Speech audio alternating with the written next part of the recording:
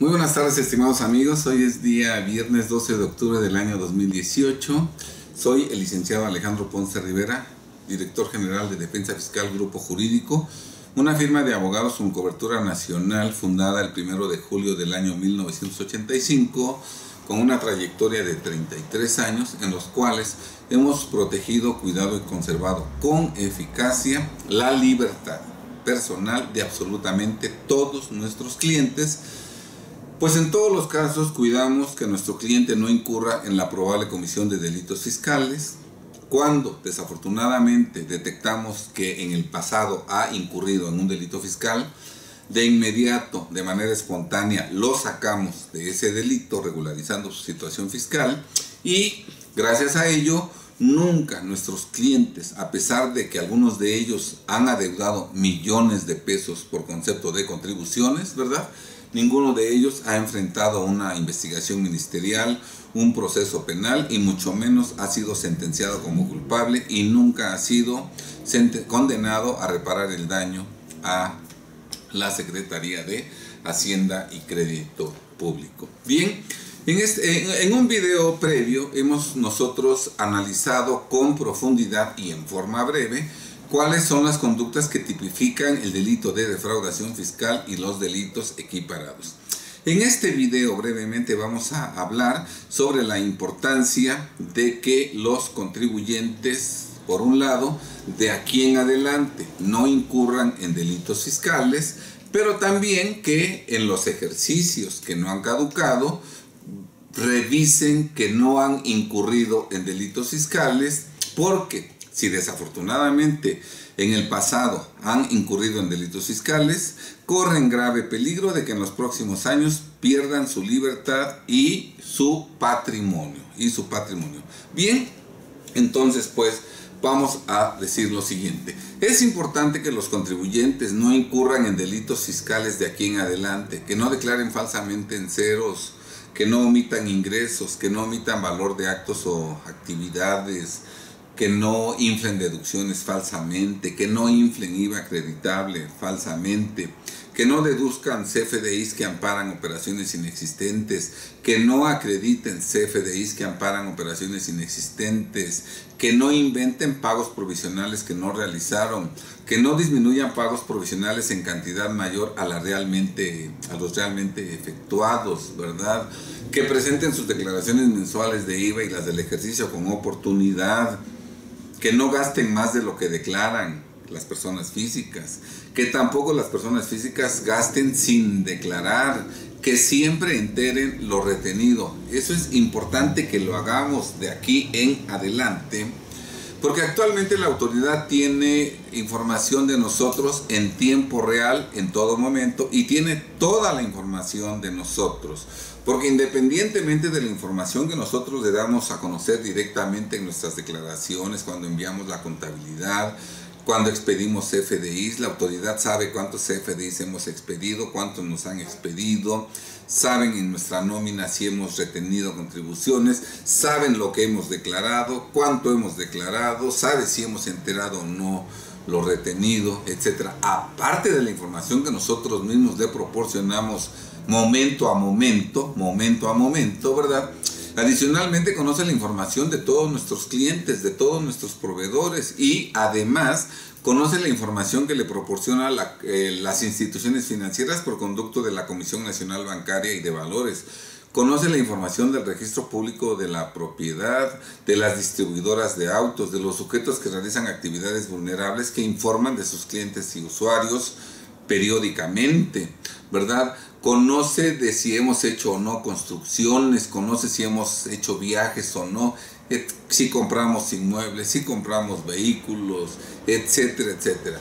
Conoce toda la información, entonces cuando nosotros ingenuamente en una declaración consignamos engaños, declaramos ingresos menores a los realmente obtenidos, inflamos deducciones, no enteramos lo obtenido, etcétera, la autoridad descubre con facilidad que estamos en delito fiscal y en los próximos años puede proceder penalmente en nuestra contra y aunque no proceda penalmente en nuestra contra, hay la posibilidad de que nos mande una carta de invitación en donde nos diga, bueno, yo he visto que tú has declarado ingresos menores a los realmente obtenidos, yo he visto que en mis registros aparece que has realizado retenciones que no has enterado, etcétera, etcétera. Entonces nos colocamos en situaciones de alta vulnerabilidad que provocan que perdamos patrimonio. Lo mejor es pagar las contribuciones a tiempo.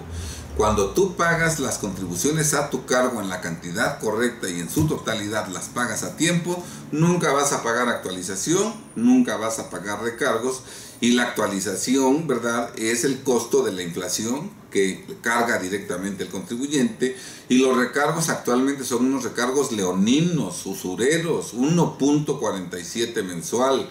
No hay una inversión, ninguna institución financiera te paga un interés del 1.47 mensual. Bueno, muchas inversiones ni siquiera te la pagan anualmente. Entonces, veas, ve nada más a lo que te expones cuando equivocadamente engañas a la autoridad, incurres en defraudación fiscal. Probablemente no enfrentes un proceso penal, pero sí te expones a que la autoridad te cobre lo omitido, más actualización y recargos, ¿verdad? Y eso ya afecta tu patrimonio, porque además, además, el pago de recargos, ¿verdad? No es deducible para ti.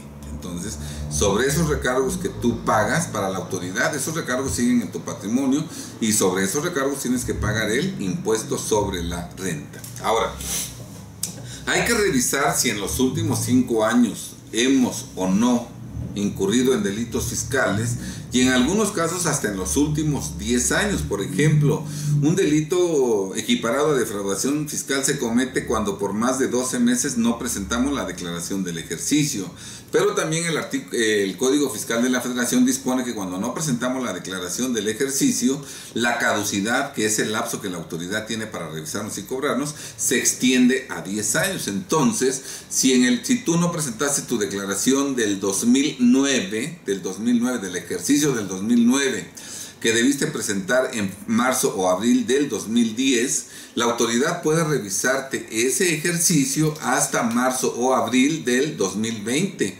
Falta más de un año para que caduque en ese ejercicio. Entonces tú tienes que revisar que en los últimos 5 o 10 años no hayas incurrido en delitos fiscales.